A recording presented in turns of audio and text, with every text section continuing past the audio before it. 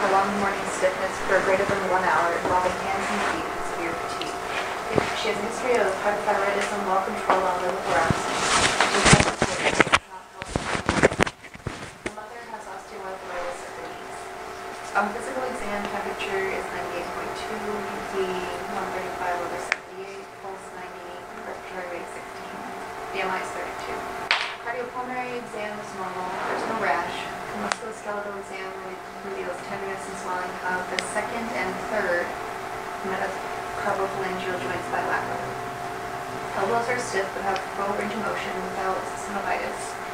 There is squeeze tenderness of the metatarsophalangeal joints bilaterally. CBC normal, um, RF negative, TSH 1.8, anti-CCP positive, IgG antibody against parvovirus B19 positive, IgM antibody against parvovirus B19 negative. Which of the following is the most likely diagnosis? What do you guys think? So it's not parvo because um, if it was acute parvo, it would be IgM, right? IgG just means you had it. Correct.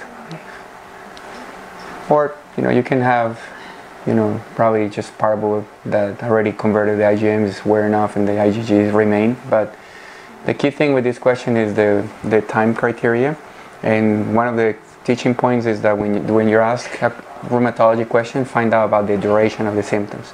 Because for this type of symmetrical bilateral synovitis, that's the other thing that I teach students, just recognize if they're asking you if the physical exam description is consistent with synovitis. Because there's few things that give you synovitis, like the inflammatory arthritis is one of them.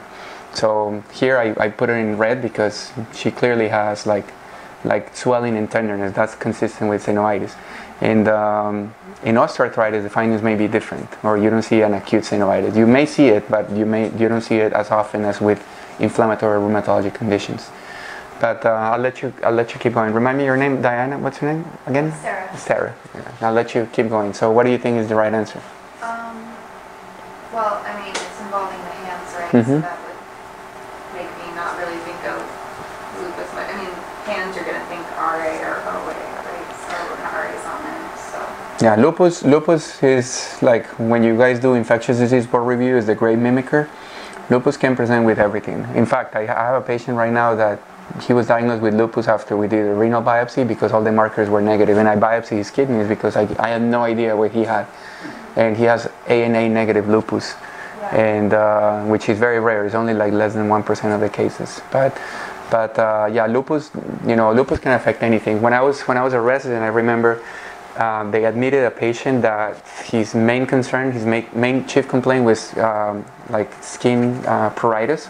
He kept coming to the ER, and the last time that he went in, they admitted him because he was having changes in his mental status. The family said like his personality is changing and everything, and it turned out that the guy had neuro, neuro neurological manifestations of lupus. You know, personality change, and he had like on exam he had a bunch of lymph nodes. It was a very educational case because I never you know, like the take-home message for you guys is like lupus is a great mimicker. It's a disease that sometimes it takes months or even years to diagnose, and sometimes physicians don't even diagnose it. It just goes unrecognized, and unless they have one of the major involvement, which is the two most se- severe involvements for lupus, is either when you have like cerebritis or when you have nephritis, and those patients go into renal failure, and then it's very dramatic because they can go.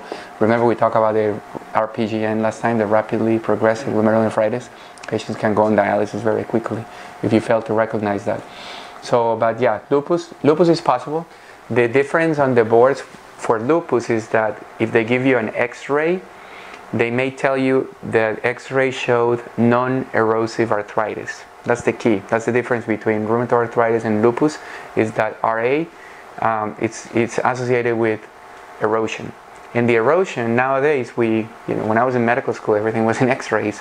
Nowadays, rheumatologists they send MRIs for the of the joints because MRI is a lot more sensitive to pick up early erosion. So you're gonna you're gonna see. I actually I think actually I have a slide with that. But it sounds like this person has six weeks, some synovitis that is symmetrical. Another feature of rheumatoid arthritis that is very pretty much consistent in every board question is that they tell you that the patients have stiffness, morning stiffness that can last up to 30 minutes or even 60 minutes. And that's very, in, in practice, you're always going to ask that question, like, do you have any morning stiffness? Okay, so this person probably has rheumatoid arthritis, and um, there is uh, the American College of Rheumatology has um, diagnostic criteria that involves at least you need to have at least four or more for the diagnosis. But the question you should always ask your patient is: You have morning stiffness for more than an hour, swelling of the wrist, um, um the metacarpophalangeal joints, uh, or PIPs, and remember, osteoarthritis involves mostly the DIPs rheumatoid arthritis and lupus, they can involve the MCPs or the the, um, the, the, proximal interphalangeal joints. Um, and then by nature it's a symmetrical disease. I've seen rheumatoid arthritis with just one joint involved, but most, most patients with this condition, they have bilateral involvement. And um, the time criteria is very important. So by definition, the, the, you have to have these symptoms for more than six weeks. And the reason being is that there are some viral conditions uh, that can present with arth- arthritis, like synovitis, an exam, including hepatitis related hepatitis related related uh, um, uh, joint diseases like hepatitis A, hepatitis B, and even hepatitis C. Uh, have you guys heard about cryoglobulinemia or cryo? Have you heard about that? That condition is a very ominous complication of uh, hepatitis C. We'll talk about it. I have, have a slide for that later. But um, and also parvovirus is actually a very common. So if you're in the urgent care and you get a patient like this, clearly has synovitis, in addition to throwing the typical ANA, rheumatoid factor, anti-CCP, one of the things that rheumatologists they always want to do is just give me an IgM for parvo or give me a hepatitis serology for the same reason. Okay? So and the positive rheumatoid factor or the CCP, which is a lot more specific. The rheumatoid factor can be, there are some instances where it can be a false positive rheumatoid factor. So these are the typical deformities. I don't know if you guys still review these in detail, but when I was in medical school, they used to torture me with these deformities. But the swan neck deformity uh, in the distal um, joints, and also the ulnar deviation, you know, from subluxation of this uh, the of the MCP joints and the, also the boutonniere deformity of the thumb. That's another classic feature. Um, but clinically, we always look into small joints. However, rheumatoid arthritis is a systemic disease, and you guys should always see it that way. The way to understand rheumatologic diseases, now that we have a better understanding, is that these diseases are not benign. And when you let them undiagnosed and untreated, they are associated with permanent joint damage and also, there is more and more research involving rheumatologic disease with cardiovascular outcomes. In fact, the most common cause of death of patients with rheumatoid arthritis is cardiovascular because these patients have um, elevated uh, inflammation and that carries a lot of like endothelial changes and these patients end up developing coronary premature coronary artery disease and they actually die. I remember like yesterday when I was doing my fellowship at UCLA, I had a 32 year old lady with lupus status post CABG and you, you would think like, who's going to get a CABG at 32? Uh, a rheumatology patient would. So when you see these patients and you're actually providing primary care to this patient, always remember that the lipid and the cardiovascular risk factor assessment is very important. It's not just treating the joints, but it's also like, like how, what else can I do to help this patient? Okay. So these are the erosion. This is obviously pretty bad burned out um, rheumatoid arthritis. Um, and in the on your boards, they're going to show you something like this. They're not going to trick you. If you don't see erosion that is very that, like I tell the students, like even the the housekeeper can diagnose erosion there. But if you don't see any erosion, it's more likely lupus. If they're describing like a symmetrical joint and everything, and joint, joint involvement and everything. So in the labs we have um, the standard of care now is the uh, the CCP. It's more specific. You always want to check ESR CRP that are very non-specific. Um, you guys know what the ESR is or how they do the test? You guys know? So basically, they take a drop of blood and they put it in a in a very thin filament, it's like a little tube, and they they drop it there, and they let it rest for one hour. And what they measure is how many how much the erythrocytes actually dropped in that column. So if you're inflamed, you have a lot of um, inflammatory mediators in your blood. So the erythrocytes are actually gonna gonna drop more than a person that is not inflamed. But you got to be careful with this test because there's some other instances when you can get when you can get a false positive ESR.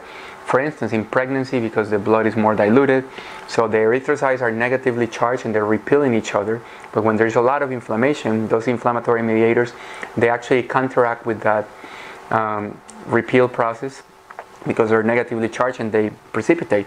That's why we're able to measure inflammation. But one thing that we all agree in internal medicine is that if you have a lot of precipitation, like let's say an ESR greater than 100, there's only one thing that can give you that, which is a pretty severe inflammatory process. So if you if you get a 20, you're like, ah, whatever. You don't get very excited. But if you get like, for instance, you're ruling out PMR. You guys have you guys heard about PMR? I'm, I'm going to talk about PMR later. But PMR, those patients are so inflamed, they can't even stand up. You tell the patient with PMR to stand up from that chair, they're like crying when they stand up. And those patients have very high ESR, like in the 80s. Or, for instance, if you do urgent care, and let's say that somebody comes with an, with an ulcer, like a, a toe ulceration, and you want to make sure that you don't have any osteo. So one of the things that is very useful in the urgent care is that you do the x-ray. Most of the times you can't get a read on the x-ray, but you're trying your best to, to see whether or not you see any, you know, cortical bone involvement. But an ESR is a very helpful test because if an ESR is very positive, you're, you're, you're very likely dealing with osteomyelitis. And that's a complete different management than if you're just dealing with, with a toe ulceration. So ESR is a very useful test, but I want you guys to learn the limitations, how it's done, and what are the limitations. So sometimes anemia is a false positive pregnancy, and there's other two that I can I can remember. But bottom line, the bottom line is that the higher, the more specific. You got it? Okay. So CRP is like the C-reactive protein. Um, also, that, that's a useful test in the urgent care because it can come stat. It can come within like probably 30 minutes. Um, these patients can can actually uh, rheumatoid arthritis patients can actually have thrombocytosis.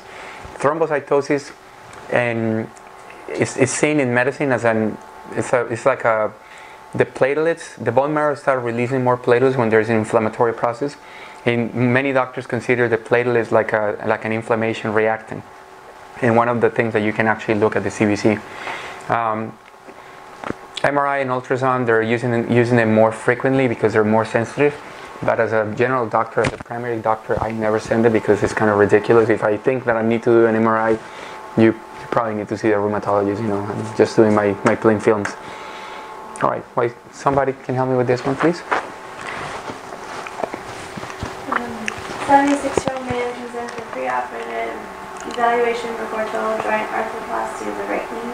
He has a 24-year history of rheumatoid arthritis. The, this disease has been stable, he's had progressive pain and loss of range of motion of the right knee. He has no other medical problems. Medications are methotrexate, folic acid supplement, and prednisone. On physical exam, temperature is 37.2 degrees Celsius, blood pressure is 136 over 80, pulse is 90, and respiration rate is 18. BMI is 23, um, cardiopulmonary exam is normal. There's mild puffiness of the MCP joints bilaterally. He also has bilateral ulnar deviation and swan neck deformities involving the third digit of the right hand and the fourth digit of the left hand. Extension of cervical spine is painful and decreased. There is a bony deformity of the right knee. Extension of the right knee is decreased by 10 degrees and flexion is limited to 110 degrees. Neuro exam is unremarkable. Lab studies are normal, including the CBC and serum creatinine level, chest radiograph, and the ECG normal. Which of the following pre-op diagnostic studies So let me ask you a question. Remind me your name again? Maggie? Maggie. Maggie? Mhm. Maggie. So we all concur that this person has pretty bad rheumatoid arthritis, right? So I, I gave you all the description of the physical exam. And when you see those those keywords, you think about rheumatoid arthritis. And she's going in for a pre-op. And I always ask the students when these rheumatology questions are so dense that by the end of the reading you're like, oh my god, what, what, what is it that you want? So my advice to you, when you're preparing your boards, try to read the question and then go back and read the whole thing. And then you're gonna read the question twice. Because when I was doing my boards, I always obviously felt very upset when I missed a question because I didn't understand exactly what I, what they were asking me. So we all agree that she has burned out rheumatoid arthritis. And I gave you all the description, the physical exam description. And she's going for a pre-op. So what do you think is important for a person who's going to go under general anesthesia and has rheumatoid arthritis? That's what I'm asking you. Cervical spine radius. Why? Well, you're gonna be kind of going like this. and shake Exactly. Exactly, and then this this this has happened many times. You know, like clinicians that are not experienced, like dealing with this patient population, and if you actually don't do a cervical spine X-ray, these patients can have cervical instability of the atlantoaxial articulation, and you can cause severe neurological damage or even death in patients. So when you are actually on the field, if you, for whatever reason, need to help a person with uh, rheumatoid arthritis, you gotta be very careful with that maneuver of extending the neck because it, it can be can be problematic. So I use this question not only to remind you about that because you need to know this if you're gonna be working in the urgent care setting, you need to know all these skills, but to remind you that rheumatoid arthritis is a systemic disease everywhere. Everywhere can get involved. The eye can cause uveitis. The heart can cause coronary disease. In the blood, it can cause lymphoma. In patients, actually, that's the second most common cause of death on, on RA patients is lymphomas. In the joints, it can cause a lot of destruction. Um, in the skin, you can get like rheumatoid, the subcutaneous nodules. Um, you're gonna see a lot of patients going in the urgent care. The eye complaints in the urgent care, guys, you gotta be very smart about it because that's that's when you get a lot of lawsuits. And if you work in a, in a setting where you can actually call the ophthalmologist, please do so because the eye is a it's a different world. I can't even understand or read the documentation from ophthalmologists myself. And I've been doing this for some time. Um, and one thing that I always tell the students, you ask the patient, you document not only visual acuity, but you also document whether or not there is pain in the eye, because conjunctivitis, like a bacterial or viral conjunctivitis, does not give you pain, it gives you crusting and a red eye. But if the patient tells you, I have a lot of pain, I have photophobia, and there is decreased visual acuity, those patients they need to be seen stat. I mean that day or the next day because they may be either having a scleritis or an episcleritis, and you, you also assess the the pupillary reflexes because when you have like episcleritis or like um, uveitis, your your reflex may be a little sluggish. So, like in my experience, like a lot of the doctors, they, they the patients go in with a red eye and everybody go, walks away with an antibiotic, which is obviously a very ingrained practice, but it's not very accurate because most of the times conjunctivitis is a viral process. So with or without treatment, it's going to go away. It's just for making patients feel better, they send them with an antibiotic. But what I'm trying to say is don't, if the patient has eye pain, very red eye, and photophobia, that's not conjunctivitis. That's actually, there's something else. So always remember those, the triad that can get you in trouble. Um, so rheumatoid arthritis patients can actually have a coexistent Sjogren's syndrome. You guys know Sjogren's? Have you heard about Sjogren's? Okay. Patients feel very dry, like xerostomy and you know a lot of issues with uh, dry eyes and mononeuritis multiplex. Do you guys know what that is? Mononeuritis multiplex. You're gonna get a board question with a patient with mononeuritis multiplex. Do you know what that is? Okay. Okay. So always remember this. When you see this, it's a vasculitis until proven otherwise. Either a small vessel vasculitis, like an ANCA vasculitis, or even in rheumatoid arthritis. I've never seen it, I, I've only read it in the books.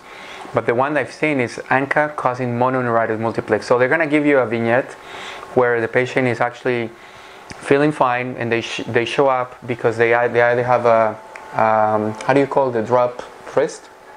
Like a medial nerve involvement or a radial nerve involvement or like a peroneal nerve involvement and it's only an isolated nerve involvement. That's very rare. And when you see that, you suspect uh, small vessel vasculitis until proven otherwise. So, give you an acute, acute peripheral nerve dysfunction. Think about vasculitis. Always think about that. I took level, uh, the boards Mhm. I'm pretty sure I missed that one. Yep. I'm telling you, and I I missed it too. I was like, I'm pretty sure I know this. Yeah. Yeah. I got that wrong. Yeah, but that I'm pretty sure, I'm convinced you're gonna get this question on your board. So mononeuritis multiplex, okay? So we, we all heard about Felty syndrome, which is, you know, the the um, leukopenia, splenomegaly, and rheumatoid arthritis. those patients they they're at risk for overwhelming infection. They have um, ineffective like immune system and they need to be treated differently, like a like an immunosuppressed patient. Um, and like I said, coronary artery disease is the leading cause of death. And I'm to throw you another pearl. Do you know what's the leading cause of death um, for kidney transplant patients? Or for liver transplant patients? What's the leading cause of death? Cardiovascular disease. So always remember that. And um, rheumatologic patients, coronary disease as well. Okay? All right. Somebody help me, please. A 55-year-old woman is evaluated for a three-month history of fatigue, morning stiffness lasting for one hour, and decreased strength. She drinks two glasses of wine daily and is unwilling to stop. Her only medication is over-the-counter ibuprofen, 400 milligrams, three times daily, which has helped relieve her joint stiffness.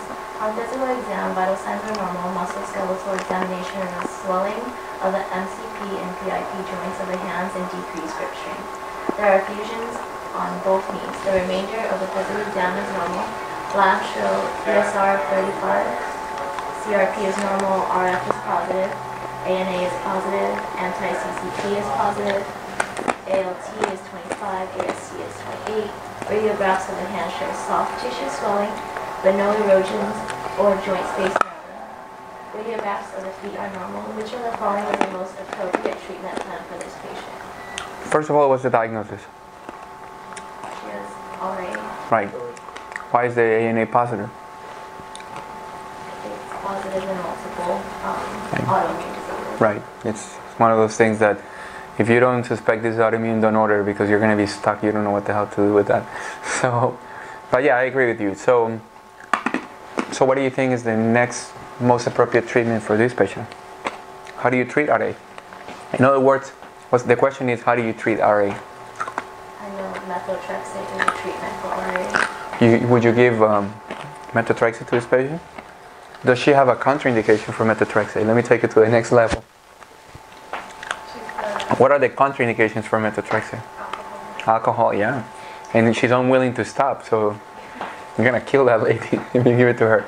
So, um, liver failure is another contraindication, and kidney failure is another contraindication. It's renally excreted, so you can reach toxic levels fairly quickly. But the other thing that's important to understand in this question is that I, I told you that she has no erosions. So um, Plaquenil is the old-fashioned way of treating like um, rheumatologic diseases, uh, but it's actually very effective for patients with just arthralgias. Just arthralgia. She doesn't have erosions. When there is erosion, there's no question that she needs either methotrexate, and if you cannot do methotrexate, you're gonna have to go to Enbrel, the etarn, et, etarn, I can't pronounce that, etanercept, and um, and increase ibuprofen dosage was what my wife's primary care doctor told her when I was dating her. She she was having synovitis. and One time we were in a day like, oh, oh, my arthritis is back. Like, what do you mean my arthritis? Like, yeah, my doctor told me to take ibuprofen. Yeah, but what's the diagnosis? Like, no, she told me a little bit of arthritis. Like, yeah, but what the hell is a little bit of arthritis? And then it turned out she had rheumatoid arthritis for years, and she was mismanaging her. So, and she she was actually she she was left with some damage. But you you want to diagnose and you want to treat this disease. This is it's pretty aggressive with the joints. But the key thing here is that. Um, okay. Okay, that's another question. If somebody can help me with that one. Agreed. I'm at like a weird angle. Uh, okay, so 33-year-old woman is, woman is evaluated during a follow-up visit. She was di- diagnosed with RA three months ago. At that time, she began methotrexate therapy and folic acid supplement. She also takes ibuprofen and Tylenol. Uh, despite this treatment, she has two to three hours of morning stiffness daily and wakes frequently during the night with pain and stiffness. She also has persistent pain in the hands and feet. On physical exam, vital signs are normal. Neck and shoulders are stiff but have of motion. Small nodules are present on the elbows. The right elbow has a small effusion and has 15 degrees of flexion contracture. The wrist and MCP joints are tender bilaterally. There is synovitis of the wrists. Um, the left knee has a small effusion. The MRP joints are also tender bilaterally. Labs show uh, platelet four- 460,000, uh, ESR is 45. Radiographs on the hand show periarticular osteopenia and erosions of the right ulnar styloid and the base of the left fifth metacarpal bone. Which of the following is the most appropriate next step for this patient's Sure. So this person has RA, right? Mm-hmm. She's already being treated, and we're assuming she's compliant with methotrexate, and she has significant symptoms and erosions on the X-ray. So what I'm asking you is, what would you do next? What would be the next step in the management of this patient? That's the teaching point of this question.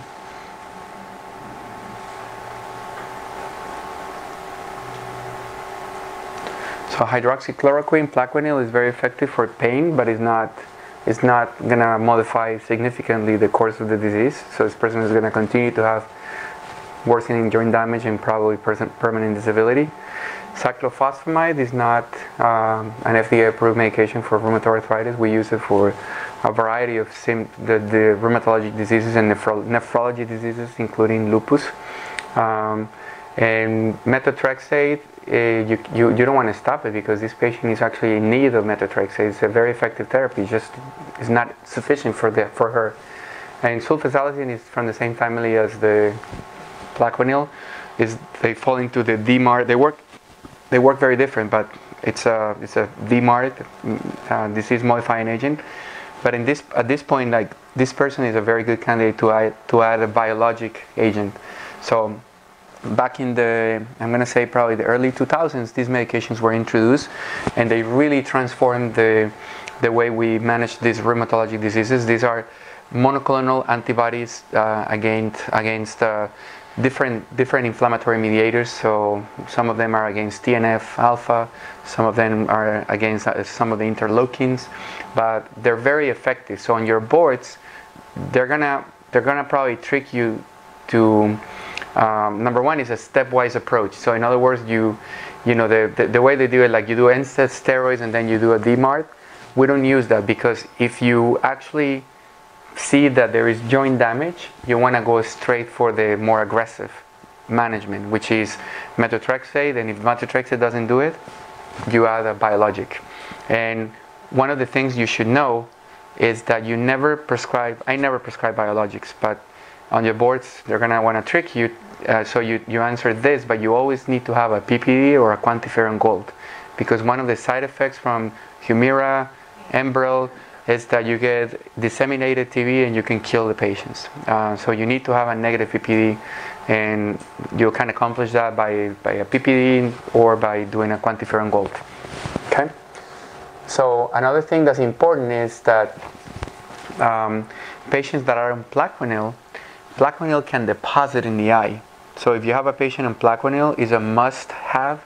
They need to have an yearly eye exam just to rule out deposition. Uh, it can cause like a like irreversible uveitis, and it's something that is preventable by doing a yearly eye exam. The ophthalmologist can see it whether or not the, it is accumulating. So we have the biologics and the non-biologics. From the bio, from the non-biologics, historically, when I was in medical school, we used to have gold, penicillamine, like all sorts of like dinosaur drugs that we don't use them anymore. So rheumatologists actually treat patients with uh, non-erosive rheumatoid arthritis with either Plaquenil or they give them sulfasalazine or they even do methotrexate. Methotrexate is a weekly medication and patients usually start with a very low dose. They can actually take like like something like 7.5 milligrams, which is three pills once a week.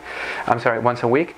Um, the must-have is that these patients they need to have baseline LFTs, and they also need to have like every 12 weeks you need to have LFTs because this medication can be hepatotoxic, and it's contraindicated in those patients drinking because you can cause like profound folate deficiency, and one of the side effects from this medication is that you can cause profound um, leukopenia, or one of these very inconvenient and painful side effects is that patients taking methotrexate, they can develop like a very severe form of stomatitis.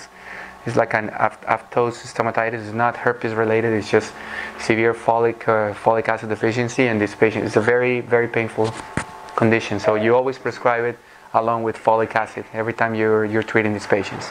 So. So those are the three non-biologics that we use primarily. And for biologics, we have the three most most common ones are the the uh, Humira, Enbrel, and the other one, infliximab. No, what's? No. No, what's the, if you guys have Hippocrates, you can look. I forget the names, but uh, Humira, infliximab, I think is Remicade. Remicade, Remicade, Enbrel, and um, Humira or the three FDA approved, the TNF alpha blockers. Um, like five years ago, they came up with this IL interleukin 1 receptor antagonist. That stuff is like, it, it works like a, like a champ. You know, one of my best friends, she's a rheumatologist, and she tells me that the patients that are failing everything, that that's just unbelievable. But that's a very expensive medication, and obviously it's, it's reserved for, for rheumatology. And less commonly used, that I don't even know if they're actually um, the rituximab, I don't know if it's FDA approved. I think it's off-label. Uh, rituximab is a CD20 um, monoclonal antibody that really transformed the way we manage lymphoma. You know, lymphoma is a curable disease nowadays. Lymphoma, even if you have stage 4 lymphoma, meaning that you have metastatic disease, um, it went from an incurable, always fatal disease to actually a disease that can be cured. And rituximab is one of those amazing medications that were like like created in the, in the last 20 years. But it's also off-label for rheumatologic diseases. Some of them are lupus and rheumatoid arthritis. Um, and we have like a couple of the other ones. Leflunomide. Leflunomide, I misspelled it. Leflunomide is also known as Arava. It's a very uh, effective medicine, but it can be quite hepatotoxic. Uh, when I was working, um, when I was working at UCLA, there was a patient who was taking Arava, and she was she had hyperlipidemia, so the doctor gave her simvastatin 80, and she ended up um, getting um, what was the other medicine they gave her? She was on diltiazem, simvastatin, and and and Arava, and the lady ended up uh, developing. You know, diltiazem actually inhibits the cytochrome P450, so the level of the um, simvastatin was much higher, and the patient went into fulminant hepatic failure. She didn't make it. So it's one of those things that these medications are serious stuff. Uh, my advice to you, if you guys go into primary care, uh, I don't mess with them, but be aware that they can potentially cause like both hepatic failure and rhabdomyolysis because they're metabolized in the liver. So again, like I said, Plaquenil for milder disease, sulfasalazine for mild, milder disease. It can cause a lot of GI side effects, and in male it can cause oligos, oligospermia. Um, and methotrexate is is actually the mainstay therapy for rheumatoid arthritis for those patients that are able to tolerate it. My wife took it for three months and her hair started falling off and she hated it. She never took it again. But um, it's a tough medication because it has side effects but you, you need to rule for, you need to monitor for bone marrow suppression, pneumonitis, hepatotoxicity, and these patients need a lot of like surveillance. And liver disease or alcohol use is an absolute contraindication for the use of this medicine. So biologicals, we um, we really transform the, the care for this patient. It's most beneficial when you combine them, so you don't stop the methotrexate for the patient that you read. You you do it in addition to methotrexate, and they work best that way. And the big complication is infection. Remember, you need to have a PPD. You need to have a QuantiFERON Gold or a PPD before you start those patients. And you're never going to prescribe it, but they're going to ask you that question on your boards. And you know, you can kill someone. I've seen two cases in my career of disseminated TB related to these medications. Okay, somebody needs to help me with this one, please. 23-year-old man is evaluated in the ED for a five-day history of headache, blurred vision, and right eye pain. Eye pain increases when he attempts to read and when exposed to light. He also has a three-year history of back stiffness that is worse the morning and tends to improve as he becomes more active. He does not have arthralgia, arthritis, or rash. He takes no medications and is anonymous. On physical exam, temp is 98.2 degrees Fahrenheit.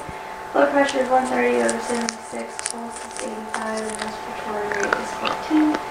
There are no skin lesions. The appearance of the right eye is shown. It's like a scleritis, right? Remember I told you in the urgent care you hear this eye pain or photophobia? That's no good. You need to call a uh, an ophthalmologist, and the ball is in his court or her court. But always think about like, is this could this be a scleritis or a uveitis? Yeah. Mm -hmm.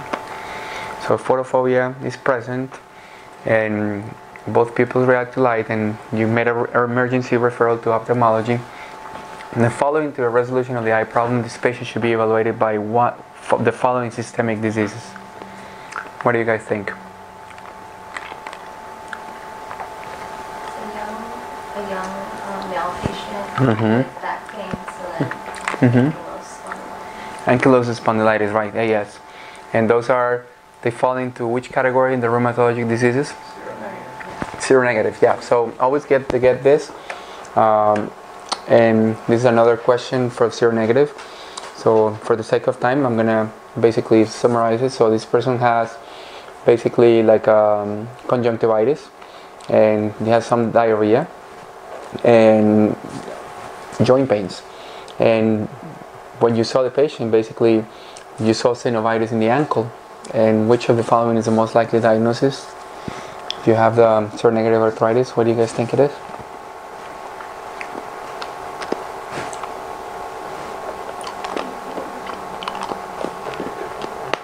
Told you have GI symptoms, right? It's reactive arthritis. So they used to call it, how do you used to call it? I'm getting who's a Nazi or something like that. I don't think they call it that way, but reactive arthritis. So when I was in medical school, there was no treatment for this condition, and it was actually very, it was pretty bad. The patients would suffer like from, you know, the bamboo spine and like the stiffness and progressive deformity, and they had a limited life expectancy. And another uh, feature of this, if they give you um, description of uh, the tendons, that's called enthesopathy. That's how, how, how the medical term, and they have like all this extra-articular involvement. And sometimes there's an infectious trigger. Sometimes it can happen out of the blue. Um, these are the more common ones the four. Um, i highlighted in red the most important things the high yield points. So i'm to go over them for the sake of time. So for AES the pain improves with exercise. So these patients they wake up with a lot of pain and as the day as they warm up they feel better they may show you a bamboo spine. I just show you the picture. I'm gonna show it one more time. It looks like looks like a bamboo, right? There's fusion and there is a lot of like cortical bone loss. And the treatment is DMARDs and biologics, and really these biologics really change the course of the disease. For reactive arthritis or you know the the more commonly tested on your boards is Reiter's where the patients have urethritis, conjunctivitis, and asymmetric arthritis. And that's um, that's an important distinction with um, seropositive arthritis or rheumatoid arthritis, where or lupus. They, like I said initially, it may happen unilateral, but most of the time it's bilateral, and the boards is always bilateral. Okay, They're not going to trick you. And so these patients, the, the treatment the treatment is you don't treat them with DMARDs or biologics. You just treat whatever was the triggering. If you have an STD, you treat the STD. And these patients, or you have like whatever, like a GI issue, you treat the GI issue, and then the arthritis should go away. In other words, the activity, the disease activity, correlates with the with the primary infection, site of infection. And then we have the enteropathic ar- arthropathy. I've never seen it, but it's always. I mean, I, I, I don't think they're gonna even ask you on the boards. I don't I don't recall it, ever seeing it, but it's more like peripheral joint involvement, and these patients can actually have like a lot of like sacroiliitis, like patients complaining of hip pain, and the one that you're gonna see probably in PEDS. If you've done, have you done any PEDS rotations yet? So we see psoriatic arthritis is common, in, most commonly in children, but you can see it in adults. And one of the key things on your boards is that patients with psoriatic arthritis, they have involvement of the distal interphalangeal joints. It's the common, commonly involved site. And we don't treat these patients with plaquenil because they actually, for whatever reason, plaquenil makes the psor- psoriasis worse. So we treat these patients with biologics. Okay, somebody help me with this one? Seven-year-old male dairy farmer is evaluated for one-year history of pain in the left knee that worsens with activity and is relieved with rest. On PE, vital signs are normal. A small effusion is present in the left knee. There's no erythemal warmth. Range of motion of the left knee elicits pain and is slightly limited. Extension of the joint is limited to approximately 10 degrees. But flexion is nearly full. The remainder of musculoskeletal exam is normal. Um, erythrocyte sedimentation rate is 15.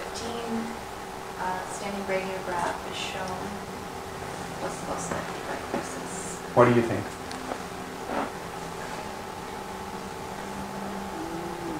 Just based on the description of it um, being relieved with rest and worse with activity, I would think osteoarthritis. And based on the age of the patient, and the occupation, and all those other things that you get, you got in the history. So there's a lot of like, you know, subchondral sclerosis and there's the space narrowing. So those are the things that you can very easily identify when you're working at the urgent care. Um, this is basically important that you distinguish inflammatory versus non-inflammatory. So for inflammatory, the patients have a lot of morning stiffness. They have systemic symptoms. The, if you if you do a, a diagnostic arthrocentesis, these patients have a lot of like like inflammatory cells, and you can either see erosions um, versus uh, osteophytes or subchondral uh, sclerosis that I was showing you. So this is basically a wear and tear type of problem, and we're all going to develop this at one point in our lives. Um, okay, so this person, just for the sake of time, this is a person with osteoarthritis that is coming in because she is already failing um, uh, Tylenol. And um, what would be the next most important step in this patient? If you're having a patient with bad osteoarthritis, this is bread and butter. You're gonna get this probably every day of your life if you end up going into primary care. Patients coming in with joint pain or knee pain, they don't even they don't even they don't even they don't even correlate their pain with their weight, but your job is always to advise them to lose weight. You're gonna be surprised how many times you tell them that and like, oh really? You're like, I was amazed, like, what do you think? But the, the, the next step in the management, if a patient is already like failing like conservative management, what do you do? What do you tell your patients if they go in with with a lot of like pain from osteoarthritis? What would you prescribe next?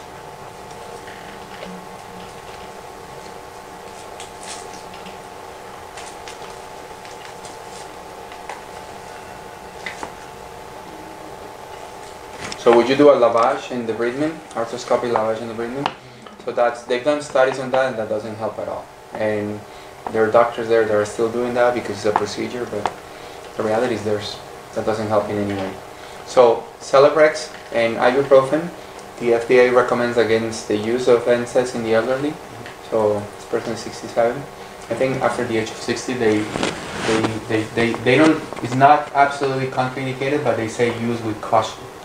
And the last thing you want to do is to give someone with um, 67 years old, you're going to tell them you start taking ibuprofen for years for the management of a problem that's not going to get better. So the best thing you can tell your patients is you're going to be taking Tylenol around the clock unless they have liver failure. Taking liver, uh, Tylenol around the clock. And if Tylenol fails or if you're having a lot of pain, you can take a little bit of Tramadol once in a while. Tramadol is an opiate, and opiates have a lot of problems. And you guys know that is the number one cause of death for adults from the age of 18 to, to 50 in the United States is prescription drug abuse. You guys have to be very careful with how you manage your practice. Some doctors they don't care and they start prescribing like candy. I'll tell you right now, if you're one of those doctors, you're gonna eventually get so many of those patients that you're gonna hate your life and you're gonna hate your practice. So in a patient with clear indication like this, you need to teach them that you're gonna combine um, Tylenol with a little bit of Tramadol and you're gonna just give them a little bit at a time. Um, total knee arthroplasty is the treatment of choice, but it's reserved for those patients with severe advanced burned out knee osteoarthritis. You don't do it in, in a person with that are failing. Another thing, another tip is patients ask me about glucosamine and chondroitin. Some small studies that actually shows that it helps. It's not harmful in any way. So I tell them, go ahead and use it. It's not harmful. And another thing that I do commonly is that, especially in the elderly, there is a cream called capsaicin. Capsaicin is very. Capsaicin is it's a little interesting drug that inhibits substance P, which is one of the mediators of pain. And the first time the patient uses it, they wanna they wanna run to the emergency room because they feel that the knee is on fire. But you need to warn them about the side effect, and you use it. The other day I had a patient with shingles, and I prescribed that for the knee, and he got confused and he applied that to the shingles, and the guy ended up in the ER. Um, so this made it really worse. Like, what made it really worse? The cream in my shingles. Like, I can't even imagine. You already, you were already on fire. You put more fire. Um, but yeah, so Tramadol is um, FDA approved, recommended for. So the typical thing is um, uh, physical therapy, weight loss, work simplifications, you know, assistive devices, you know, the, the common things. Injections, this is a skill that I want you guys to develop when you do your rotations. It's very effective and it gives a lot of patient satisfaction. So when a patient comes to my to my practice, I just do it. If you want a little bit of a steroid, if they don't have a contraindication like uncontrolled diabetes, uncontrolled hypertension, if they're there and you want to help them, it is actually a very, very nice thing to do because they, they feel much better the next day. They're going to thank you. So the skill is very easy. Injecting the knee is very easy. I mean, anybody can do that. So when you guys are doing your your rotation, I want you guys to develop that skill because it's going to help you a lot in your primary care practice. It's going to help you a lot. There's three things that you guys can learn how to do. The the um, um, what's the name of the bursa here? The subacromial bursitis injection. Instant gratification. There's another um, trochanteric bursitis. That stuff hurts like, like there's no tomorrow. And the patients don't get better even if you give them all these. And if you give them a little bit of, the diagnosis is very simple. You just press there and they jump. Right there where the, where the bursa is. It's not a hip problem because they can perfectly move their hips. And, but if you press on the bursa and they jump out of the table, that's the diagnosis. And the treatment is the easiest thing. You just put a 1 ml of Kenalog and they're, they're going to love you for are skills you guys go into primary care. They're very helpful. And I encourage you to do, to learn how to do injections when you're doing your rotations. Okay, so um, surgery again is when everything is exhausted. So this um, this um, um, hy- hyaluronic acid and there's another bunch of like injectable stuff that they come up. They've done studies and the benefit is no different than injecting Kenalog, and they're very expensive. So, um, and obviously you don't want to give a steroid if you suspect a septic arthritis, because that's big time malpractice. Yes, if you have a septic joint, that's uh, orthopedic emergency. Patient needs to go that same day for the to the OR for a washout, a joint washout. So if you have an acute synovitis, you don't inject steroids. You want to do a diagnostic arthrocentesis.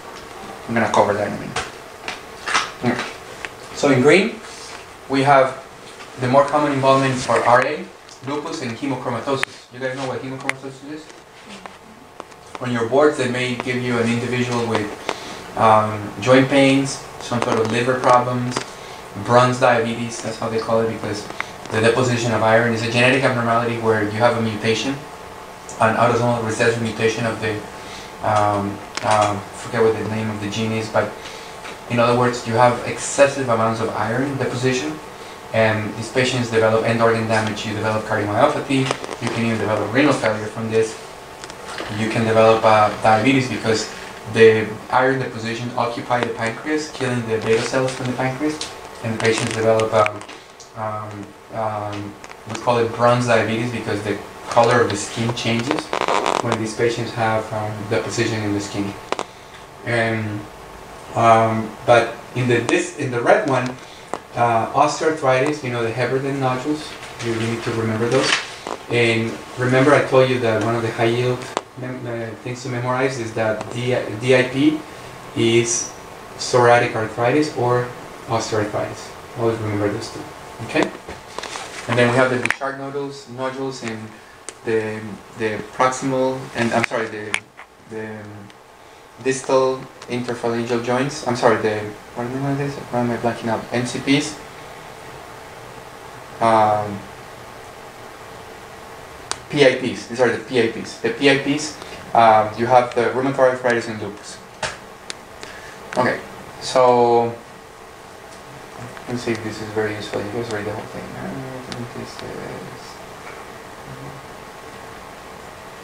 Okay. Yeah, why don't you read it? This is a useful one. Why don't you some of you guys read the question?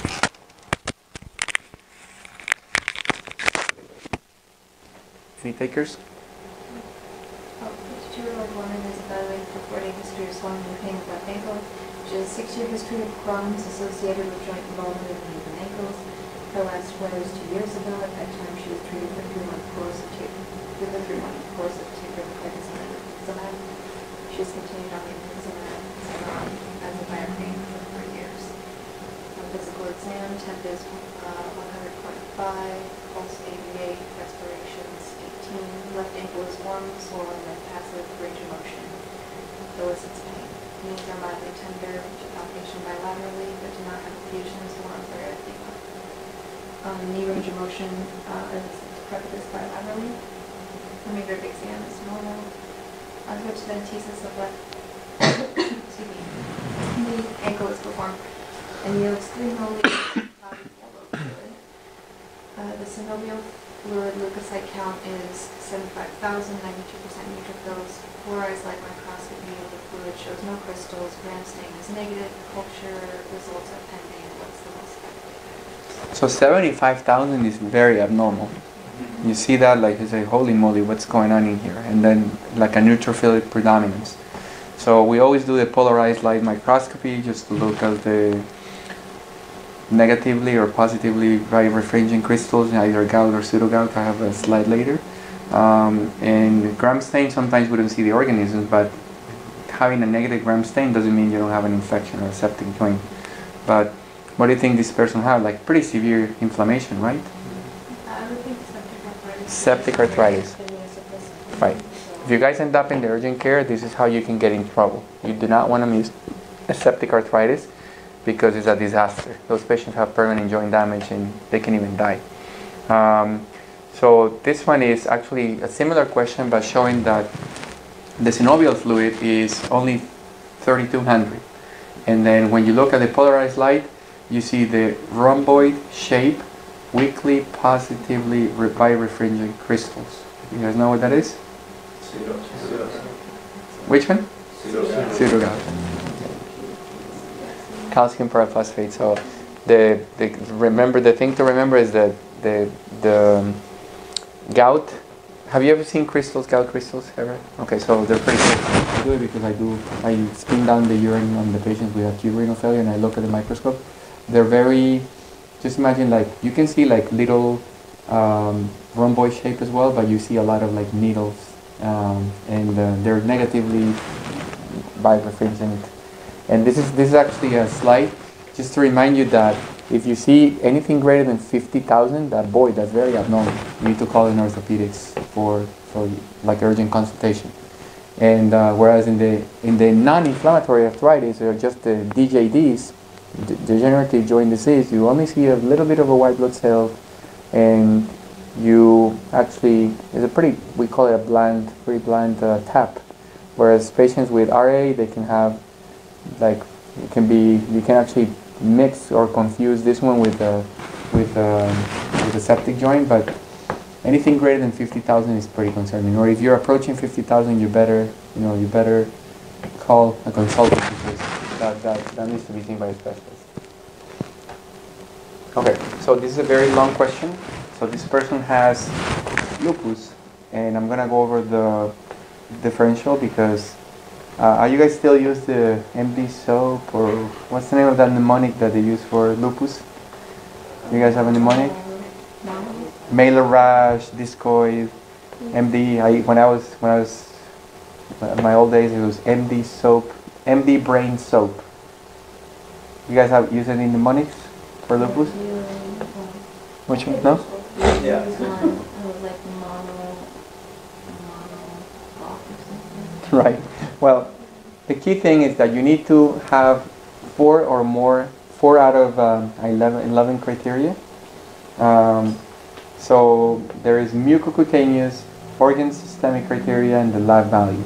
Lupus is the great mimicker. I've been burned by lupus many times in a way that I didn't think a patient had lupus. And like I told you, just today I had a patient with a renal biopsy, and he's saying he's negative. I failed because I never sent an anti-RNP like um, like in Smith. Those are like more like newer antibodies, but I never send it because I don't want to send a million dollar workup in a patient that I, you know, it's very rare to have ANA negative lupus. That's the take-home message.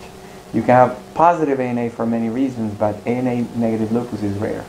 So, but the important things to remember is like you, you have patients have photosensitivity, they can have a rash, malar rash. The ulcerations can happen in the mouth, genitals, or nasopharynx. Um, and the discoid rash, there's some patients when they have like like discoid lupus, which is a limited form of lupus uh, involving the skin, but it can also be seen in systemic lupus. And organ can affect pretty much everything. It can give you arthritis, which is remember non-erosive. Always remember that. If they give you an X-ray and you see erosion, that's not that's not lupus. It may be an infection, or that may be RA, but it's not lupus. Um, but can give you psoriasis, uh, uh, pleurisy, or pericarditis. In my patients um, that I get to interact with, I, they present with red blood cells in the urine. We call those acanthocytes. Acanthocytes is just the Mickey Mouse cells. It's red blood cells that have been deformed when they go through the glomeruli, and they actually look very dysmorphic on the, um, you know, when I do like a analysis of the urine sediment, and that's pathognomonic of, that's actually indicative of glomerular hematuria. You know, hematuria can go from anywhere in the urinary tract, from the kidneys to the uterus to the prostate to the bladder, so on and so forth, urethra. But if on your boards they tell you that you see acanthocytes or that you actually see dysmorphic RBCs, they use the word dysmorphic more than acanthocytes. But if you see dysmorphic RBCs, that's glomerular hematuria until proven otherwise, and those patients need a renal biopsy if they if they're if it's not contraindicated. So, and then we have um, um, in hematology is crazy. You know, I've seen like hemolytic anemias or maybe one line of cytopenia, either thrombocytopenia or leukopenia, um, but these patients can present with a lot of blood, abnormalities and neuropsychiatric features. I told you about that patient that got admitted because his personality was changing. He was crouching like crazy. So the guy had lupus. And the lab value criteria, we have um, the ANA, but we also have other antibodies that are associated with lupus. Um, there's one called the anti-double-stranded DNA. That is actually very commonly seen in patients with lupus nephritis. So that's one of the tests that I ordered for surveillance on my patients when they get successfully treated. And I, am making surveillance. I always throw a double-stranded DNA along with the complement levels, uh, just to see if there's any complement consumption or if there's any um, activity for the double-stranded DNA. And the other two is the anti-RNP in Smith. That's a much more specific. So I don't think I'm gonna ask my rheumatology friend, but I don't think there's such a thing as having a lupus with a negative ANA and a negative anti-RNP in Smith. So that's, that's actually more a step beyond that you can order. And or the patients can present with any of the features from the anti-phospholipid antibody syndrome. Have you guys heard about that anti-phospholipid? So in your board, it may present like a woman trying to get pregnant and having like recurrent miscarriages. So that's that's one thing. Or patients can actually present with arterial thrombosis, which is very rare or patients with, I've had, in my practice, again, two patients coming to me with massive renal infarctions that came out of the blue without AFib. Like, that's an antiphospholipid antibody syndrome until proven otherwise. But patients with antiphospholipid antibody syndrome can actually present as a separate entity or it can be one of the manifestations of lupus. So when you see that, you think about lupus and you need to rule out lupus. But these patients clearly have a they have a very clear indication to have uh, chronic um, lifetime anticoagulation because they can they can present with like massive life-threatening thrombosis like distal arterial thrombosis and, and like I've seen crazy crazy cases with this antibody. Okay, so like I said, the ANA is sensitive but it's not and the anti-Smith is 100% and for disease activity, complement and double-stranded DNA. Um, so this is this gets a little more complicated. Um, I have a slide that is very dense, and maybe you need it for step three. Maybe you guys PA. I don't think you're gonna need that much of knowledge on these rheumatologic diseases. They're they're they're frustrating to diagnose and not even in internal medicine. We always send out like, you know what, you you put a name and a last name because there there are a lot of overlap syndromes from these conditions. But in a nutshell, if you have anti-Smith, it's lupus. If you have an anti-RNP, you can actually have lupus, or you can have an entity called mixed connective tissue disease. Those patients present with an overlap of lupus symptoms, but they also they can have like um, a lot of like cutaneous involvement. Um, same thing with um, the anti-SSA and SSB. We see that in Sjogren's, but we also see like uh, um, we see it in like lupus um, limited to the skin, skin limited lupus. Uh, antiphospholipid antibody, I already told you, is lupus, uh, or it can be just antiphospholipid antibody itself. And on your boards, if they give you a question of a patient taking either hydralazine, procainamide, or isoniazid, um, that's drug-induced lupus, and the antibody is called the antihistone antibody. So that's common, common on your board. I got it twice on my board, so I, I want to make sure you guys remember that one. Okay?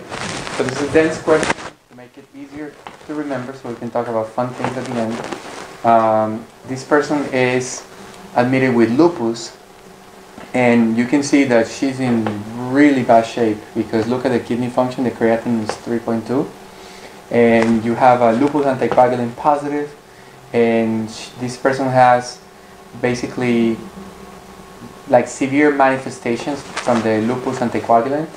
And the question that i'm asking you is like which of the following is the most appropriate next step in the management of this patient? And the answer is heparin.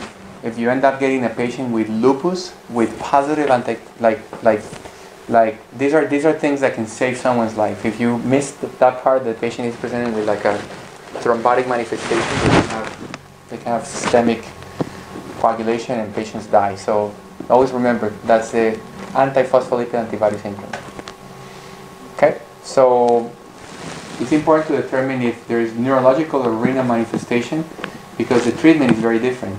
If if the treatment of the kidneys is from antiphospholipid, I need anticoagulate. If it's from lupus, I need to hit them with heavy immunosuppression. That's why for me, maybe for you guys it's not as important, but for me and my practice it's very important that I make that distinction.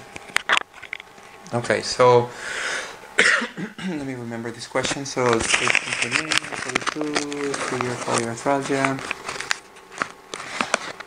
Okay. Okay, so this person has Sjogren's disease. What is the most appropriate treatment?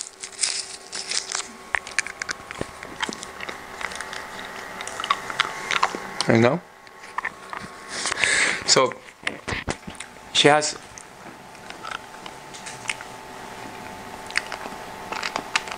okay. So this is actually lupus. Examination. No, this is C3, C4, ANA titer. Yeah, this is lupus. The key thing to understand and to remember is that plaquenil is very is a very safe drug. You need you need to have an eye exam every year. I remember I told you that. And it's a very safe medicine in pregnancy.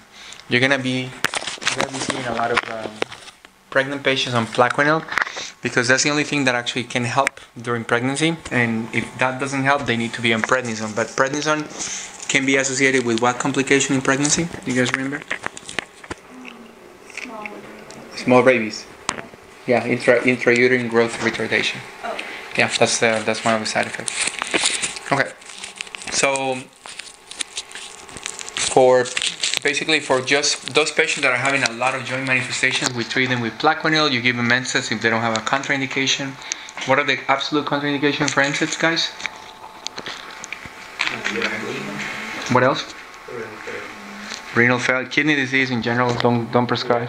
You're gonna get an angry nephrologist calling you. Why are you doing NSAIDs to my patient? So what else? Severe heart failure. You don't want to give NSAIDs because these patients have decreased renal perfusion, and if you give them NSAIDs, they're gonna go into irreversible renal failure. In at UCLA at the CCU, they have a, one of the attendings, probably like a pretty bitter attending, put a little like a sign in the in the entrance of the CCU. Uh, it says, "In this unit, we don't prescribe NSAIDs. If you don't know the reason, ask your attending." So, you know, if you inhibit prostaglandins, you're effectively killing those kidneys because you're compromising the natural vasodilator of the kidney, which is the prostaglandin. but severe heart failure, renal disease, like even if it's stage three, try to stay away from that. Uncontrolled hypertension, very commonly missed. Doctors prescribe this like candy. If your patient is hypertensive, don't give them NSAIDs. You're gonna make them more hypertensive. Um, and for some patients with severe asthma, they can they can actually get worse when you prescribe NSAIDs. And like I already mentioned earlier, the elderly. You know, you it's not FDA approved. You can use it with caution, but it's not FDA approved, so you can get in trouble. Okay, so um, if you have like lupus with kidney involvement, we use cytotoxic agents like cyclophosphamide, like I told you earlier, and steroids. And if you have, if you want to stay away from steroids, we use Imuran or we use Cellcept or uh, Cytoxan. But before these medications were created, patients with lupus had a very limited life expectancy. And after the NIH introduced these protocols with Cytoxan in the 1980s, we were very successful treating this condition, and lupus can actually go into full remission. And it's a lifelong battle. I have a lot of young female patients seeing me because they have lupus nephritis, and I, I, I do surveillance for you know disease activity. But the good news is that most patients I'm I'm able to successfully treat them and induce remission. The treatment is, is actually pretty aggressive because I'm giving cytotoxic therapy. Cytoxan is it's a pretty aggressive medication that have a lot of side effects. So when they're getting treated, they're all freak out because you're giving them high steroids, so they gain weight. There's a lot of changes in their body. Uh, they lose they lose their hair. Cytoxan can actually cause alopecia as a side effect. And all of these medications have a lot of side effects, so it's very challenging. The first six months, I always try to tell them from the beginning, this is bad. You're gonna feel bad, but you need to eat right. You need to exercise, because a lot of the times, patients that are taking steroids, if they don't take care of themselves, they gain weight dramatically. This medication really makes you makes you eat, and you know a lot of them they end up with steroid-induced diabetes. So. Um, but the take-home message is lupus only in the joint um, you treat them with Plaquenil.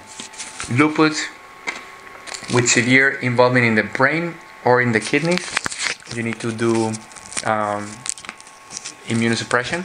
And sometimes lupus can have like severe manifestations, like there's a condition called uh, diffuse alveolar hemorrhage. The patients can actually present like like like like coughing up, like hemoptysis, like severe hemoptysis. Sometimes those patients are so sick that they need to get plasma plasmapheresis. They need to get plasma exchange to remove all those pathogenic antibodies. But lupus is uh, a, it's a difficult disease, and especially in my field, it makes it very difficult because I get involved in very dramatic cases when they call me to participate in, in pregnancy. And there's a lot of emotions, and there's always concern about how the outcome of the baby is going to be. So, yeah, let me tell you that um, Maggie, right? Mm-hmm. Maggie, do you want to do OB? Pretty stressful. It's pretty stressful field. It's beautiful. I love it. I loved it when I did it. But it's pretty stressful because you're dealing with, you know, a lot of the times you're fine, but you, you just need one or two patients to drive you crazy. And every time I got a case, a case with that I'm involved in pregnancy, it's pretty challenging because the outcomes may not be always the best. All right. But I'm not, I'm not discouraging you. I think it's beautiful, but it's stressful. Yeah. Okay, so let's see what this dude has. Um, it's lagging. So, two-way history of pleural chest pain. Um, let's see the labs, titer of the ANA. So, lupus, chest X-ray. Okay, which of the following confirm the most likely diagnosis? I already told you. If you suspect lupus, oh, this person you don't need to know about this. This is this is actually mixed connective tissue disease. Um, it's very complicated it's not fun.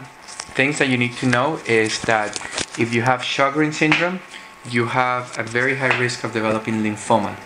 Always remember that lymphoma if you have Sjogren syndrome. And if you have mixed connective tissue disease, they have good prognosis. They respond to the steroids, but they have it's like a lupus-like syndrome, but they have a lot of like myositis, and they can even evolve to look like scleroderma. Have you guys heard about scleroderma? They get a lot of like like very thick. skin. You know, have you guys heard about the crest syndrome? I have a slide for that later. Okay.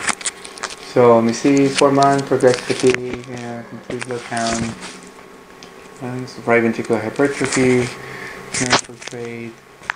This person has um, yeah, pulmonary arterial hypertension. So this is a complication of um, a lot of the um, mixed connective tissue disease rheumatology. So this person probably has systemic sclerosis.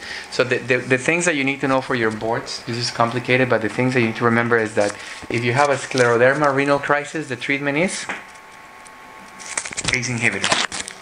Yeah, like if you don't give an ACE inhibitor, this patient are gonna go into into irreversible renal failure. It's a renin-dependent disease, so you want to treat it. I have a patient that every time he sees me, he reminds me that the nephrologist missed the diagnosis, and that's the reason why his wife he lost his wife to renal failure. So I hope I never miss something like this, but it can happen. And also, if you ever see the watermelon stomach, have you ever seen pictures of a watermelon stomach? Actually, they may show you one on the boards. So if they give you a watermelon stomach, you think about scleroderma until proven otherwise. Search the web for watermelon stomach. Here are some images of watermelon. That's how it looks like. Oh, Oh, from the inside. On the inside. I was thinking outside. Yeah, like an EGD. yeah, yeah that, it's like a gastric antral vascular ectasia. It's uh, this is the watermelon stomach. If they give you that, you think about that. But this is a very complex thing, like you know, crest, calcinosis, Raynaud's, lower esophageal dysfunction, sclerodactylia, and telangiectasias. So it's the crest syndrome, and you can have like systemic sclerosis, either diffuse. Uh, for systemic sclerosis, the prognosis is actually those are the diseases that they haven't really done a lot of uh, improvement, especially for those patients that develop like like pulmonary fibrosis and irreversible renal failure. Um, but important things for you guys to know to remember for your boards: scleroderma renal crisis. I'm sorry, scleroderma renal crisis. You treat with an ACE inhibitor. Watermelon stomach. You think about um, um, systemic sclerosis, and remember the crest, the pentad, and yeah, the treatment is just not. When these patients develop interstitial lung disease, it's just really bad. I mean, they, they, they progress. There's no effective treatment for these patients. Okay, so Wegeners, we don't call it Wegeners anymore. You guys know. You're gonna see it. I actually, I'm so happy that I found. I was moonlighting a month ago at the Pasadena Urgent Care, uh, Kaiser, and I had a 32 year old male coming in with multiple bouts of sinusitis and prior that year he was treated with tubes by the ENT doctor because he had severe otitis. If you have an adult with recurrent otitis, that patient either has a structural abnormality or that person has or is a smoker or that person has an underlying small vessel vasculitis and I was so glad that, that I, I was able to diagnose him because for many years he was treated for sinusitis and otitis and everything. So I, I noticed that the guy was now having joint pains, and the guy was also. I did a CT of the sinuses, and he had like pansinusitis. I mean, the whole maxillary sinus was occupied, and the whole ethmoidal sinus was occupied. You see that if you have HIV, or if you're immunocompromised, or if you have like something that is non-infectious. So I called the ENT doctor, and the ENT doctor told me like, no, just give him prednisone and treating with uh, fluoroquinolone for 21 days. Just send me a referral. I'm gonna see him in clinic. Before I let him go, I ordered an ANCA, and it turned out that the guy has ANCA, and I'm so glad because the guy, you know, this is a disease that goes unrecognized for months and years. I have five dialysis patients with ANCA, with uh, GPA, and they had similar stories. They were not recognized or identified on time. And it's a nasty disease in the kidneys. These patients progress very quickly. Remember we talked about RPGNs the other day? we talked about RPGN, right, with you guys? Yeah, so RPGNs, um, these patients can go from having normal renal function to be dialysis dependent within two months when there's renal involvement. So the take-home message for you guys is that Wegener's, we no longer call it Wegener's, GPF, granulomatosis with polyangiitis. It's a small vessel vasculitis that is part of the family, the ANCA, ANCA associated small vessel vasculitis. We call it ANCA because it's an anti-neutrophil uh, cytoplasmic antibody. Um, and then there's two components of the test. Number one, you need to have the the, the anti-neutrophil cytoplasmic antibody. And then the second component of the test is that they do it under immunofluorescence. They look at the pattern. And if the pattern is perinuclear, we call those p-ANCA.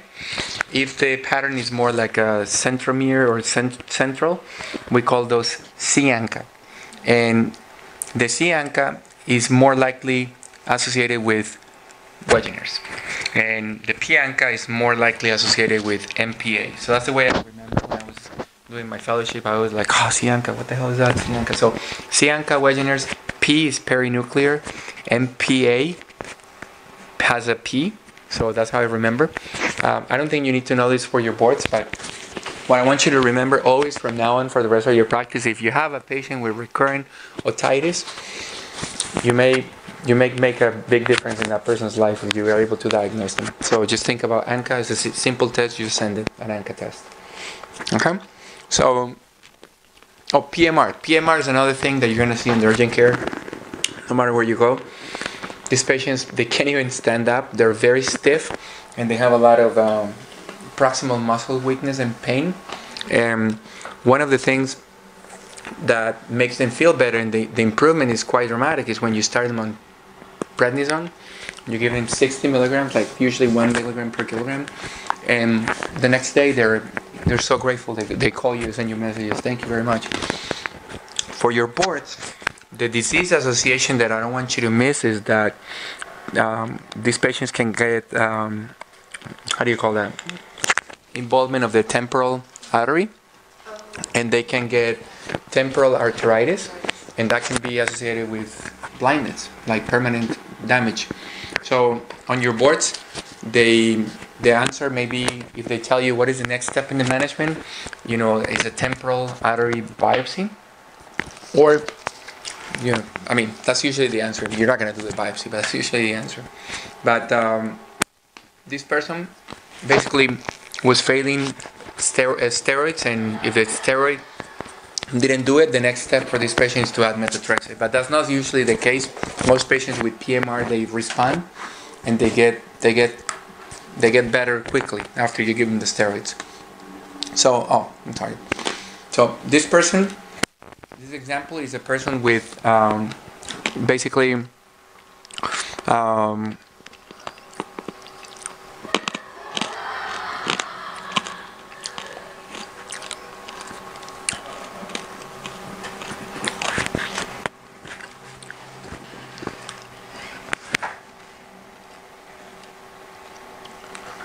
So this person has renal artery stenosis from uh, vasculitis.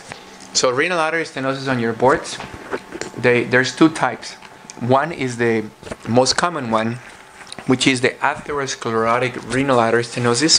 Is atherosclerotic renal artery stenosis is an old person's disease. Either you're old or you have a familial hyperlipidemia or you have um, um, a, a, reason for having accelerated atherosclerosis. A perfect example is the patients with nephrotic syndrome. You guys remember when you pee a lot of albumin? The liver enzymes they get upregulated and they start producing a lot of cholesterol.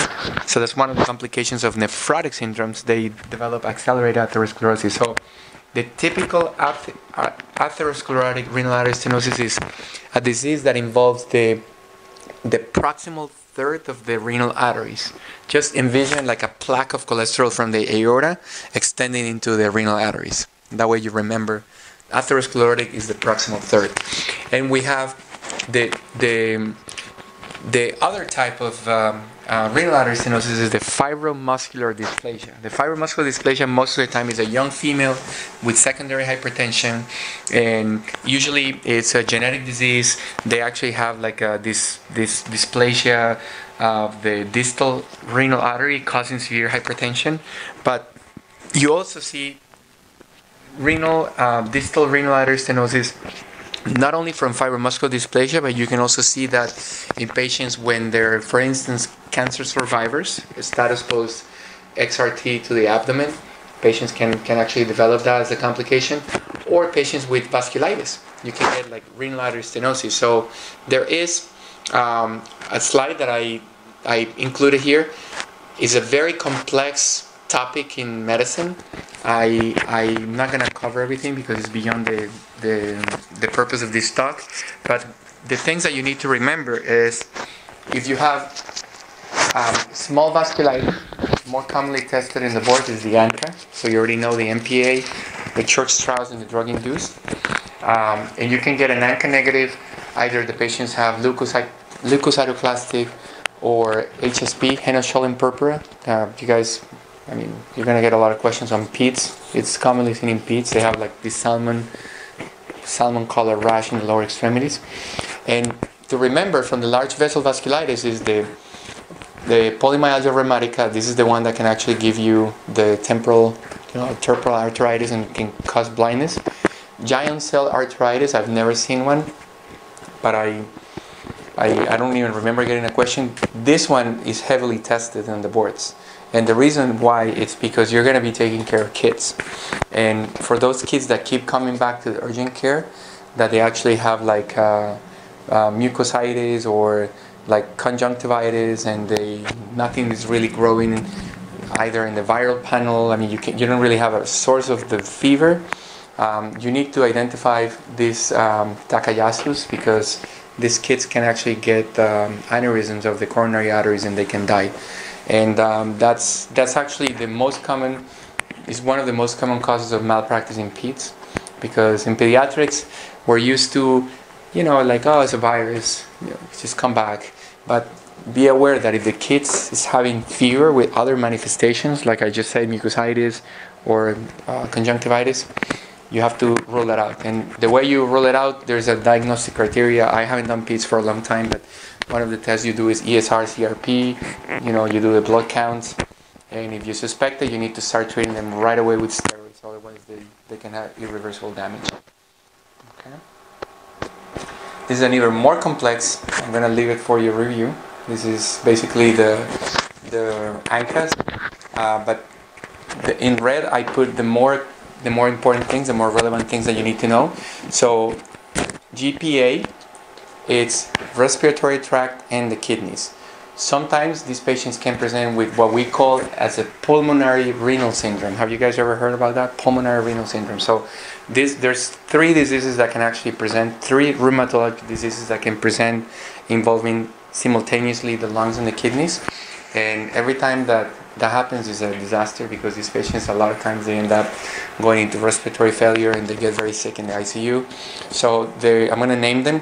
One is the ANCA, associated vasculitis, which can either be a GPA or, or a uh, microscopic polyangiitis as well, or even the Churg Strauss, the eosinophilic granulomatosis with polyangiitis. And the second one is a condition called, um, you're probably going to get tested on this condition, it's called Goodpasture syndrome.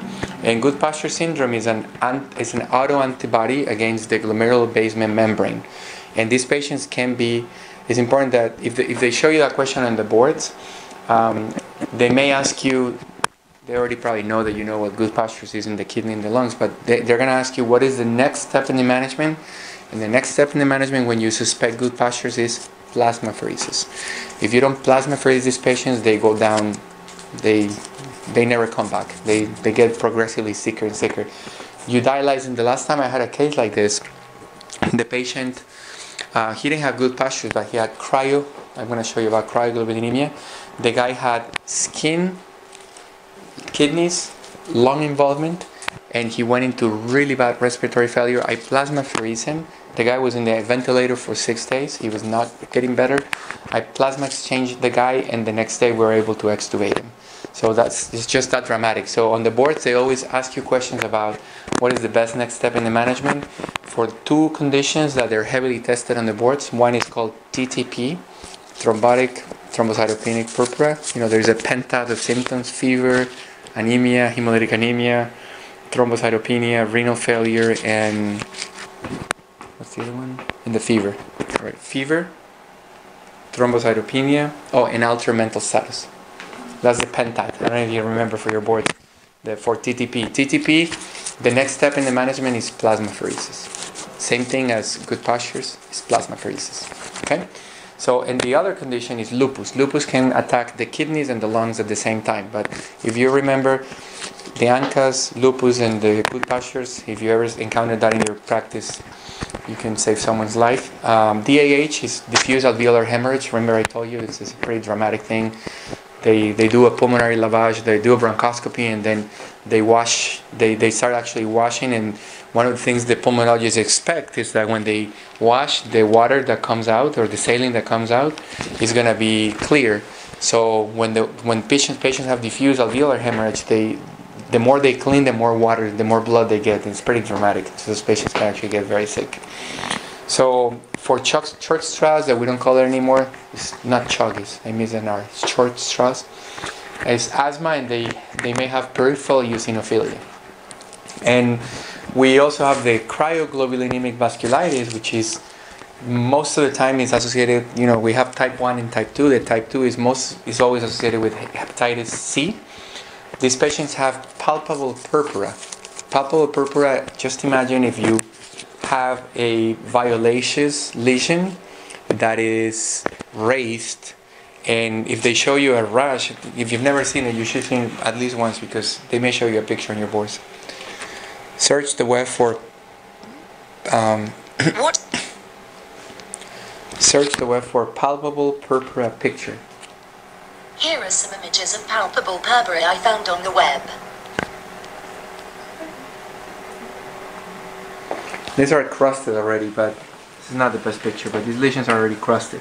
So the patients with this type of involvement, they have like raised lesions. This is like more like a advanced process. It's already crusted, but if you see that, that's that's pretty abnormal. That's actually a small vessel vasculitis until proven otherwise. And the last thing is that HSP can present in kids and adults, and in renal biopsy is indistinguishable, indistinguishable from a condition called IgA nephropathy, and it's the most common GN in the world. But these patients have good prognosis if you catch them on time, you treat them, and usually goes away. Okay, okay. So the I'm sorry, did I tell you did I tell you wrong name for the Actually Takayasu is a big vessel. I'm sorry. The one that I want you to remember is Kawasaki. I don't want to confuse you. It's Kawasaki. I always confuse it because I don't see kids. I, that's why I wrote there. I, I don't need to know this, but you guys need to know this, especially if you're going to be doing family medicine. Kawasaki is the entity you cannot miss in children, and you're going to be tested on your books. So make sure you review that one. So for you guys, disease associations that you need to know is that there is a condition called polyarteritis nodosum that's associated with hepatitis B. Uh, it's, a, it's a manifestation of hepatitis B. These patients can actually have fever, abdominal pain, arthralgia, and they actually have aneurysmal formation. If they show you a picture of a renal angiogram, and in the renal angiogram you see a bunch of aneurysms, that's PAN. Don't miss that one because I got it wrong on my boards.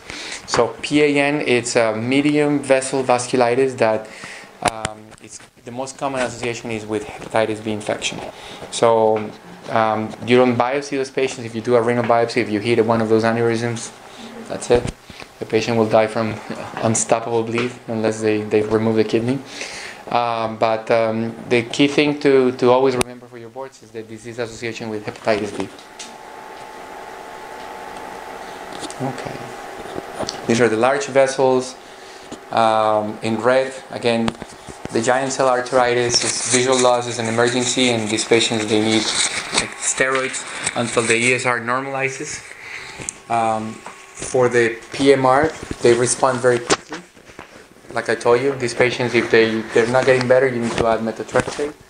For the Takayasu, is aorta and branches, and these patients can have like severe hypertension or they get vascular insufficiency, like when they walk, they have a lot of pain, or they, they can't walk. They, the muscles won't respond because they're not getting enough enough perfusion. Okay, and this last slide I took it from Up to Date. You guys, you guys use Up to Date a lot. I love Up to Date.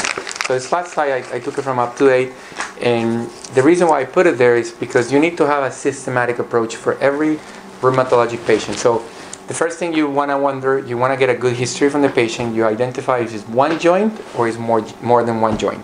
If you know like it's more than one joint, you want to establish duration of the symptoms, joints that are compromised, whether or not the patient has synovitis. On your boards is always easy to deduct whether the patient is having synovitis. They're not going to fool you around. If they show you, if they tell you it's red and hot and warm, that's synovitis, period. So it's very easy because if they have synovitis, um, you go into the inflammatory path. If they don't have synovitis, you go into, okay, does this patient has any tender points? If they have a lot of tender points, you're gonna diagnose them with fibromyalgia. Have you guys heard about fibromyalgia? So fibromyalgia, just to give you a little heads up, you're gonna see it a lot in your clinical practice.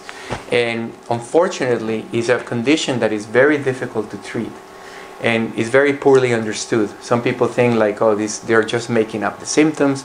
There's a lot of research associating fibromyalgia with um, disrupted sleep cycle. Like this, this in general, this patient has like a unifying common thing they have. They have is sleep deprivation.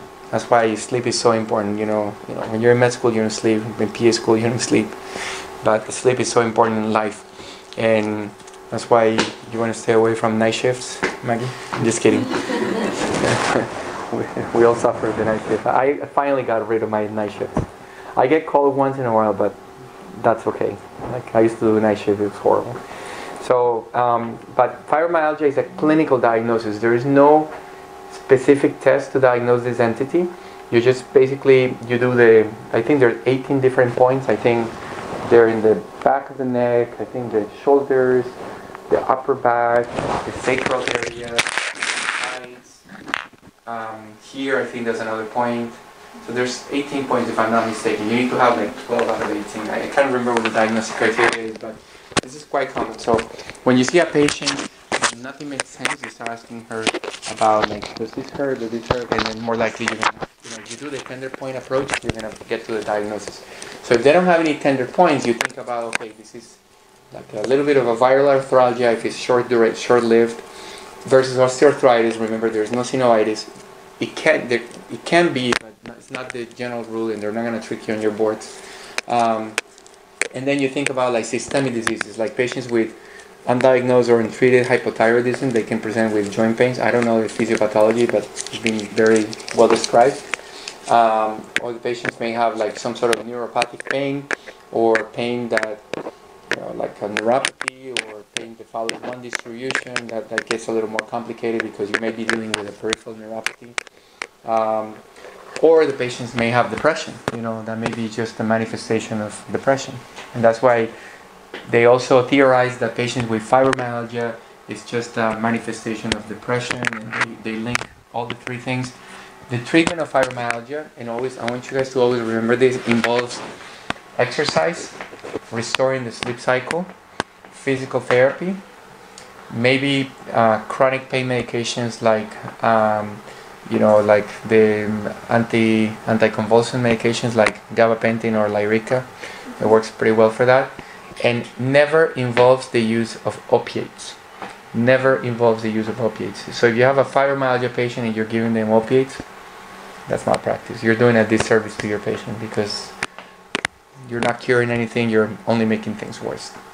And then for the other testing that you consider, if you don't see any, any synovitis, you think about serologies, you think about, you know, is this TSH or, you know, liver problems, but, you know, it's, it's, it's usually, most of the times it's fibromyalgia or some sort of like osteoarthritis, period. Those are probably the two biggest differential. If you have synovitis, then you want to establish how long has this been going on for. If it's more than six weeks, you think about systemic rheumatologic diseases. If it's less than six weeks, it's either a systemic rheumatologic disease that is too early to diagnose, or some sort of viral. So you just follow them, you give them treatment, you give them a little bit of uh, NSAIDs, return precautions, you can bring them back, and you can order the workup. I usually order the workup when I see them. You know, I order like the hepatitis B and C and the parvovirus serology, and I do a blood count and LFTs just to rule out hepatitis. Um, and most of these patients at three months, they should not have any pain if it's viral related. But if you're dealing with a systemic rheumatologic disease, then you can go that path. My advice to you, like I told you earlier, is don't order a lot of ANA. Only order ANA for those patients with clear evidence of synovitis. Synovitis, I'm sorry. Or even if you don't see it on exam, if the patient is reliable and dependable, you know how sometimes you see patients that you've never seen before, and for some reason you believe in more than others, and it's just like your your common sense or your gut, and you develop that with with experience after talking and interviewing many many patients throughout your life. But if you are going to investigate, I do it on those patients that I really suspect that the history is very legit and they've had symptoms long enough to consider the possibility of them having rheumatologic disease. So I do a CBC ESR rheumatoid factor, anti-CCP, and ANA, and I check renal function, especially if you're gonna give them ster- uh, NSAIDs. If you if you if you see a patient in the urgent care and you don't see that you don't have a creatinine value, don't give them NSAIDs because you don't know. You never know. I have a patient once that he came his chief complaint was gout, and he got treated at this same urgent care repeatedly with indomethacin, and he never had labs. He came to all of you. I was on call that night.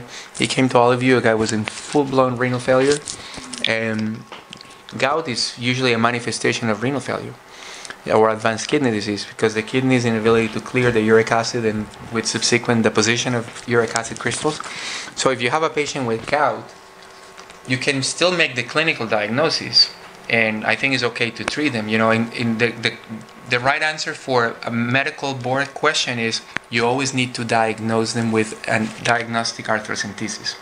You need to tap the joint and you need to look at the crystals.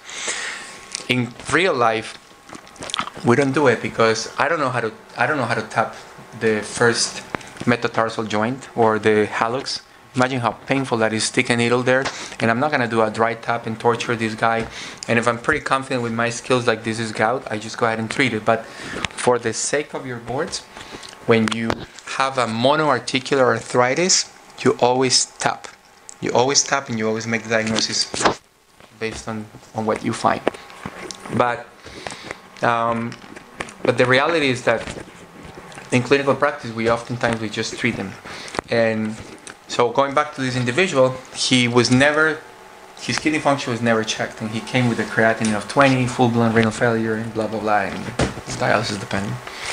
Um, but it's not rocket science. It's a little annoying to think about all these things, but if you do this approach, you're gonna do fine. And the same thing for your boards. Think about what is it that they're asking me? Are they asking me about an inflammatory process, or is this this is a synovitis? or this is not synovitis. if it's not synovitis, you already know you go that path. And if it's synovitis, you need to understand duration and monoarticular versus polyarticular. And also for the boards, always remember you cannot miss a septic joint. That's malpractice. IV drug use, patients with some sort of like hardware from prior open reduction and internal fixation, um, patients with you know, even patients with uh, sickle cell crisis, because those, those sickle cell patients, they actually, they can that very frequently develop uh, Staph aureus bacteremia, and they can actually seed the joints and they can develop like septic joints. So those patients with septic joints, they usually have a history of trauma or some predisposing condition, like an underlying either immunodeficiency or the examples that I just described. Okay, that's the last slide, I think. Okay, what time is it? You guys have questions?